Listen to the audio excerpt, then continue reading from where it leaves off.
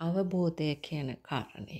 අවබෝධය කියන එක එකිනෙකාගේ දැනුමට සාපේක්ෂව සහ යාගේ ප්‍රඥාවට සාපේක්ෂව තමයි සිද්ධ වෙන්නේ. දැන් බොහෝ වෙලාවට කෙනෙක් දැන් මේ අපි නිවන ගැනනේ අපිට අවශ්‍ය කරන්නේ නිවීමනේ නේද? අපිට වෙන දෙයක් නෙමෙයිනේ. එතකොට ලෝකේ මං නිතරම කියන කාරණාව තේරුම් ගැනීම කියන එක එකිනෙකාට සාපේක්ෂයි. එකිනෙකාගේ ප්‍රඥාව අනුව නුවණින් විමසීමේ හැකියාව අනුව යාගේ සංසාරේ පුරුදු කරන් ආපු ස්වභාවය අනුව එක එක්කෙනාගේ ගුණාංගයන් කුසල ශක්තියින් වෙනස්. ඉතින් තම තමන්ගේ මනස තම තමන් ගවේෂණය කරනකොට අපිට මේක ප්‍රතිපදාවක් විදියට ක්‍රමවේදයක් විදියට මේකට සිස්ටම් එකක් තියෙනවා. ඒක තමයි මේ අපි මේ බුදුවරු ලෝකෙට කියලා දෙන්නේ. මේ දැන් මේ ත්‍රිපිටකය ඇසුරෙන්නේ ඉතින් අපි දැන් බුදුරජාණන් වහන්සේගේ බුද්ධ වචනය අපිට අහන්න ලැබෙන්නේ. අපිට වෙන නැහැනේ ක්‍රමවේදයක්.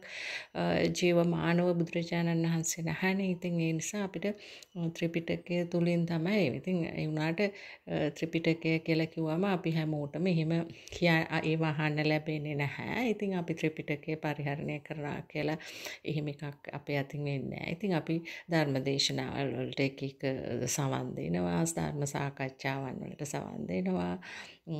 එතකොට පොත්පත් වලින් අපි ලියලා තියෙන පොත්පත් අරගෙන අපි කියවලා ඒවා තුලින් අපි දැනුමක් ලබා ගන්නවා.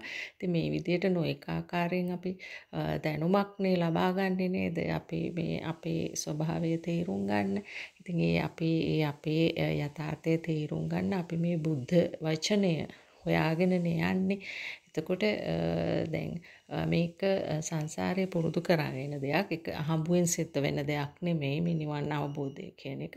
එතකොට අපි නිවීම කියන එක ඕනෑම කෙනෙකුට තමුන්ගේ සංසාර පුරුද්දත් එක්ක එකතු කරගෙන මේ බුද්ධ ශාසනය තියෙන නිසා මම නම් දකින්නේ මේ ගෞතම බුද්ධ ශාසනය ජීවමානව තියෙන නිසා අපිට මේකේ නිවන් දකින්න අනිවාර්යෙන්ම හැකියාව තියෙනවා. අපි හැම දෙනාටම තම තමන්ගේ කුසලතාවයන් අනුව හැබැයි. තම තමුන් මේ දේවල් හරියට තේරුම් ගන්නා ස්වභාවය අනුව. එතකොට දෘෂ්ටිගත වීම වලින් තොරව හැම වෙලාවෙම මේ මනස කියන එකනේ දැන් අපිට අවබෝධ කරගන්න තියෙන්නේ.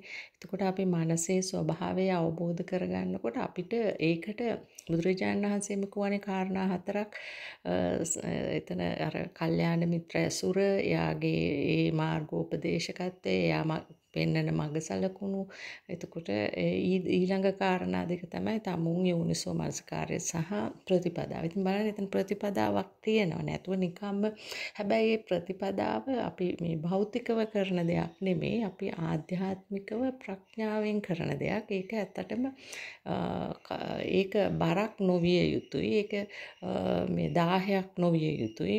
මාර්ගයේ යන්නේක ඒක ඊටාත්ම සැහැල්ලුවෙන් ප්‍රඥා ඇසින් අවබෝධය කියන කාරණාව සිද්ධ කරගන්න එකක් නෙමේ වෙන්නේ මේ සිද්ධ වෙන සිස්ටම් එක එහෙම නැත්නම් මේ ක්‍රමවේදය මනසේ ස්වභාවය ප්‍රඥාවෙන් අවබෝධ කර ගැනීමක්. ඒක 10ක් වෙන්න බෑ. පීඩාවක් වෙන්න බෑ. ඒක වෙහෙසකර බවක් වෙන්න බෑ. ඒ එහෙම වුණොත් අපි එතන අන්න දෘෂ්ටිගත වීමක් වැරදි විදියට ඒ ක්‍රමවේදය තුළ ගමන් කිරීමක් තුළින් තමයි එහෙම වෙන්නේ. එතකොට අපිට මේක සැහැල්ලුවෙන් කරගෙන යන්න නම් අපිට ඒ පිළිබඳ බුද්ධ වචනය පිළිබඳ බුදුරජාණන් වහන්සේගේ සැබෑ බුද්ධ දේශනාව තුළ ඒ තුළ ගමන් කළා ඒ තුළ අපිට හොඳ මේ නිවැරදි කල්යාණ මිත්‍රෙක් අවශ්‍යයි. එතකොට එයාගේ මඟ පෙන්වීම තුලින්නේ අපිට මේක කරන්න වෙන්නේ.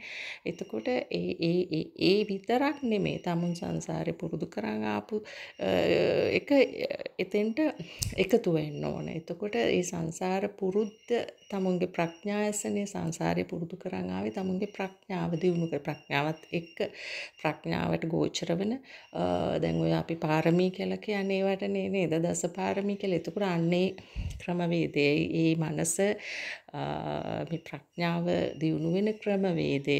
එතකොට ඒවත් එක්ක තමයි අර මේ අපිට මේ මේ ගමන අපේ දාහයක් නොමැතිව යන්න පුළුවන් වෙන්නේ මේ විශේෂයෙන්ම මේ දැන් ඔය දැන් එකේ තියෙන ඒ කාරණා හතර ගත්තොතින් මේ 10ක් තියෙනවා නේද පාරමිතා 10ක් කියලා. ඉතින් මම ඒවා එකිනෙක අපි ඒවා මේව කරන්න ඕනේ නැහැ. මොකද මේ අපි මේ සිත දැකීම කියන කාරණාව තුලින් අපේ ඒ ගුණයන් ඉස්මතු වෙනවා. ඉවසීම, වීරිය, එතකොට සත්‍යවාදී ස්වභාවය, එතකොට උපේක්ෂා ස්වභාවය එතකොට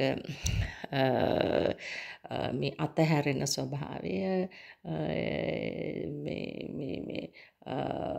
ප්‍රඥාව ඒ ඔක්කොමත් එක්ක මේ ප්‍රඥාව දියුණු වෙන ක්‍රමවේදය. එතකොට එතකොට ඒවා තුලින් ඒවා අපි මම ටිකක් කිව්වේ. එතකොට ඒවා තුලින් අන්න අපිට අපි දානය, සීලය, නික්කම්මය නේද, වීරය ඒ විදිහට අන්න බලන්න එකින් එකට ඒවා මුතු කැට ඇමිනෙන්න වගේ මේ එකතු වෙලා අර ප්‍රඥාව කියන මුතු මාලය සැරසෙනවා ඒක තුලින්. එතකොට තමයි අපිට අර මනස පිළිබඳව බොහොම පිරිසුදු අවබෝධයක් ලැබෙන්නේ. මේ දේවල් එක තමයි අපිට මේ ගිනි ගන්න මනස අවබෝධ කරන්න තියෙන්නේ. ගිනි ගන්න මනස සංසුන් කරන්න තියෙන්නේ. හැබෑවටම මේක ගිනි ගන්නවා. ඒක ඒකවත් ඒක ඒක තේරුම් ගැනීමත් ලොකු දක්ෂතාවයක්. මොකද මනස හැම වෙලාවෙම අවුල් වෙනවා කියන එක. ඒක අවුල් වෙන්නේ අන්න අර ලෝභය, ද්වේෂය, මෝහය තුල. ඒතර ඒක තේරුම් ගැනීමත්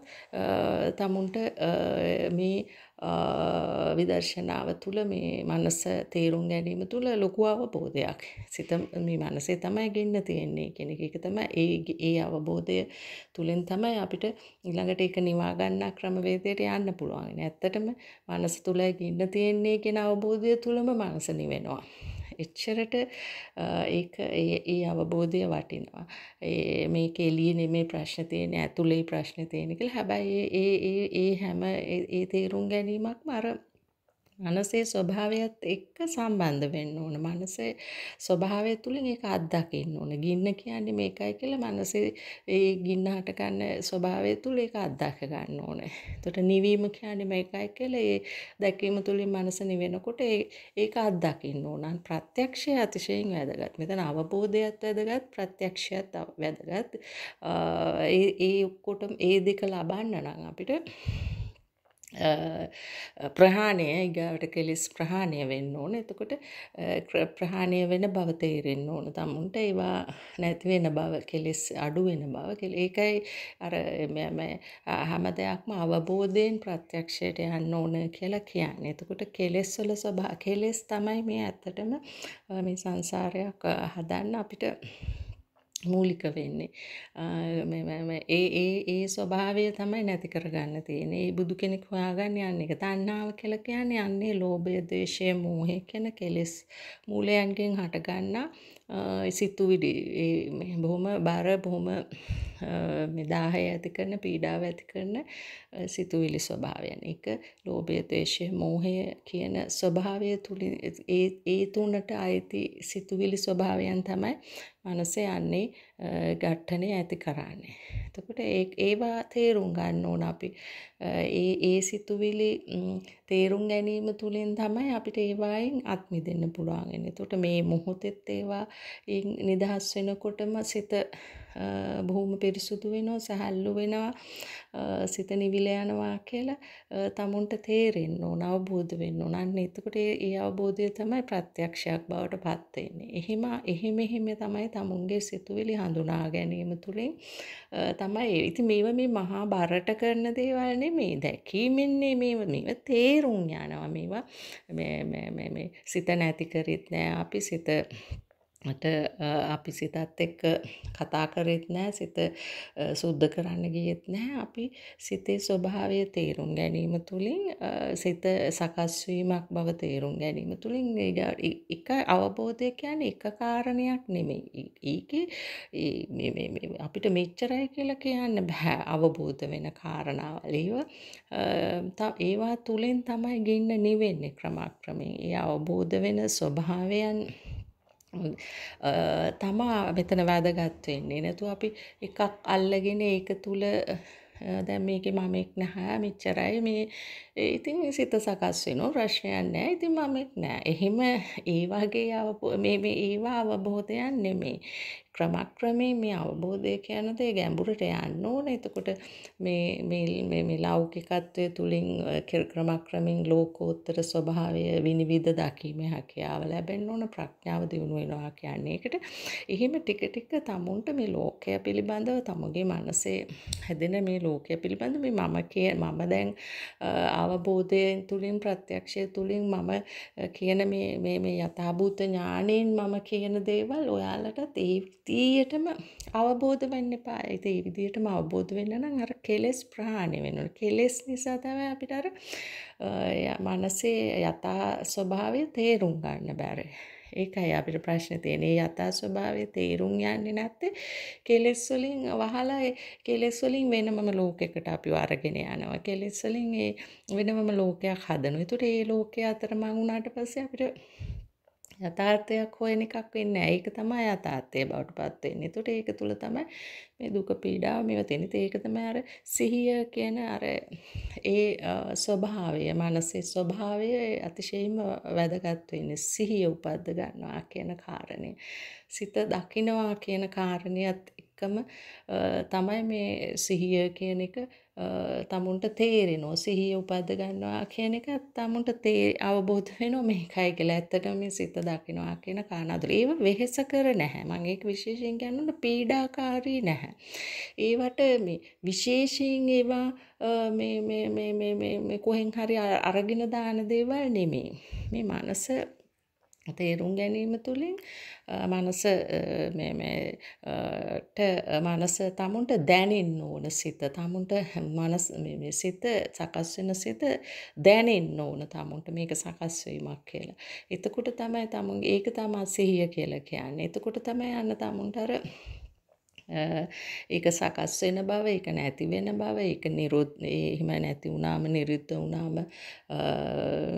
තමුන්ට එතනදී මේ මේ කාරණාවන් අවබෝධ වෙන්න පටන් ගන්නා බව මේවා තේරුම් යන්න ඕනේ. ඒතර තේරුම් ගන්න දේවලුත් තේරුම් යන්න ඕන. තේරුම් ගිය දේවලුත් තේරුම් ගත් බව තේරෙන්න ඕන. අවබෝධයත් අවබෝධයෙන් තේරෙන්න ඕන මේක තමයි අවබෝධය කියලා. ඒ වගේ ප්‍රත්‍යක්ෂයත් මේක තමයි ප්‍රත්‍යක්ෂ ප්‍රත්‍යක්ෂය කියලා ප්‍රත්‍යක්ෂ වෙන්න ඕන. ප්‍රත්‍යක්ෂයත් ප්‍රත්‍යක්ෂ වෙන්න ඕන. අවබෝධයත් අවබෝධ වෙන්න ඕන. ඒ වගේ යන එකක් මේක ගැඹුරට ගැඹුරට ගැඹුරට. එතකොට තමයි අර කෙලස් ප්‍රහාණය වෙන්නේ. කෙලස් නැත් ක්‍රමක්‍රමයෙන් නැති වෙලාම යන්නේ.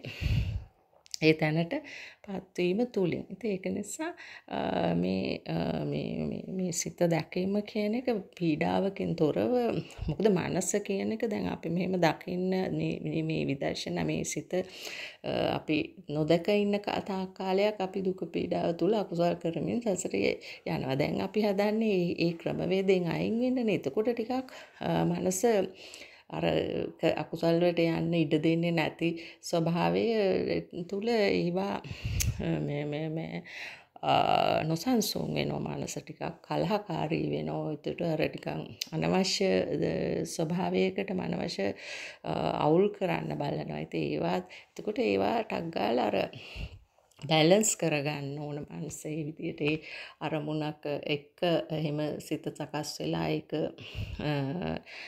දැක්කිනකොට ඒක නිරුද්ධ වෙන්නේ නැති ස්වභාවය තුළ. ඉතින් ගොඩාක් අකුසල් කරපු අය ඒක මේක මේ වරදවා තේරුම් ගන්න එපා. මොකද ඉතින් අපි මේ අකුසල් කරලා කරලා තියෙන්නේ මොන අනවබෝධය තුලනේ ඉතින් ඉතින් ඒව දැන් විපාක දෙනවානේ. අපි මේ ලෝකෙට ආවේ විපාක දෙන්නනේ. සත්වය සසරේ යන්නේ කරන කර්ම වලට විපාක විඳිමින් ද අලුත් කර්ම හද හද යන සිස්ටම් එකක් නේ මේක. ඒ නිසා අපි කරපු කර්ම විපාක දෙනකොට අපිට බොහොම ඉවසීමෙන් තව කර්ම වලට නොයා ඉන්න කුසල ශක්තිය අපි වර්ධනය කරගන්න ඕනේ. ඒවා තේරුම් ගැනීම තුලින් මේවා මෙහිමයි කියලා තේරුම් ගැනීම තුලින් තේරුම් ගන්නවා කියන්නේ ඒක තුල මේ මේ මේ විශාලට කම්පා වෙමින් පසුතැවිලිමින් ඉන්න ඕන නැහැ. මේ අපෝ මේක ඉතින් මගේ කරුමෙනී කියලා එහෙම නෙමෙයි තේරුම් ගැනීම කියන්නේ. මේක මේ දුක කියන එකත් එතනදිත් නිවනට අවශ්‍ය කරන දේවල් තේරුම් ගන්න පුළුවන්. දුක කියන්නේ මේකයි කියලා කර්ම විපාක දෙනකොට තමයි දුක එන්නේ කියලා කරන කර්ම තමයි විපාක දෙන්නේ කියලා. හේතුඵල ධමන්නේ හැම දෙයකම හේතුවක් තියෙනවා. තමුන්ට දුකක් එන්න හේතුවක් තියෙනවා. දුක ඒ දුකට හේතුව තමයි මේ සකස් වෙන සිත පිළිබඳව තියෙන අනවබෝධය. අන්න එතකොට ඒ සිත පිළිබඳව ඒක සකස් වීමක් විදිහට ඒක සකස් වෙන්නේ හේතු ඇතුව අපිට පේන හේතු සහ නොපෙනෙන හේතු අතීත හේතු එවිලට සකස් වෙන හේතු එහෙම මේ ගොඩ දේවල් තියෙනවා මේකේ මේ මේ ලෝකය කියන එක තුල මේ කැරකෙන මේ හේතු රාශියක්නේ මේ එක හේතුවක් දෙකක් නෙමෙයි හේතු රාශියකගේ එකතුවෙන් කැළඹෙන ලෝකයක් තියෙන. ඉතින් ඒව ටික ටිකනේ Tamanට අවබෝධ වෙන්නේ. ඉතින් ඒක අපි පළවෙනි තැනින් පටන් ගන්න ඕන. සිත දැකීම තුලින් ඒක ඒකත් එක්ක දොඩමළු නොවී ඒ සිතත් ඒ සිතෙන් නිදහස් වීම කියන ඒ කුසල් සිත තුලින් තමයි අපිට පළමුවෙන්ම මේ සිතේ ඇතිවීම නැතිවීම තේරුම් ගැනීම කරන්න පුළුවන් වෙන්නේ. ඉතින් ඒකේ ටික ටික ටික ටික තමයි ගැඹුරට යන්නේ. ඉතින් තමුන්ගේ වගකීම තමයි එද වගකීම කිව්වම ලොකුවට හිතන්න එපා. වගකීම කියන්නේ ඉතින් ප්‍රඥාවෙන් ඒක අපි තේරුම් ගන්න හැමදේම තේරුම් ගන්න විතරයි තියෙන්නේ. ඒක මෙහෙම වුණා මෙහෙම වුණා කියලා තේරුම් ගත යුතුට ඒ තේරුම් ගැනීමත් එතන ඉවර වෙනවා. ඒ සිතත් ඉවර වෙනවා. ඒ සිතේම ඉන්න ඕන කියලා එකක් නැහැ. අවබෝධ වෙන දේවල් අවබෝධ වෙනවා. ඊට පස්සේ ඒ අවබෝධ වුණු සිතත් නිරුද්ධ වෙලා යනවා. අන්න ඒ විදිහට ඒවා තේරුම් ගන්න හැකියාව ඇති කරගන්න ඕන.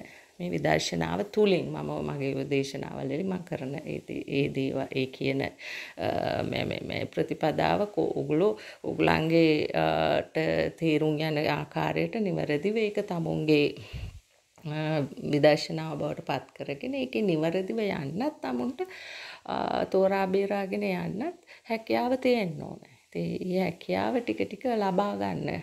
ලබාගෙන ඒකේ බරක් වෙන්නේ නැතුව පීඩාවක් වෙන්නේ නැතුව මේක නිකන් මේ හුස්ම ගන්නවත් වෙන්නේ නැහැ. හිතම බලන්න ඕන නේද කියලා. එහෙම එකක් නෙමෙයි මේක. මේක හරියට කරා නම් තමුන්ට ආස්වාස ප්‍රස්වාසය වගේම මේ මේ ඒක 10ක් නෑනේ නේද? ඒක ඒක හොයන්න ගියොත් නේ ඒක 10ක් බවට පත් වෙන්නේ නේද? ඒ වගේ සිතත් අර දැක්ම කියන එක බොහොම මේ නිශ්චලව ප්‍රඥාව කියන්නේ ඒකයි නිහඬයි කියන්නේ නිහඬව සිද්ධ වෙන දෙයක් ඒක. ඉතින් අන්න එතන එතන හරියට අල්ලගත්තනම් ඔයගොල්ලන් එතන හරියට තේරුම් ගත්තනම් ඔයගොල්ලන්ට විදර්ශනාව අපහසුයක් වෙන්නේ නැහැ.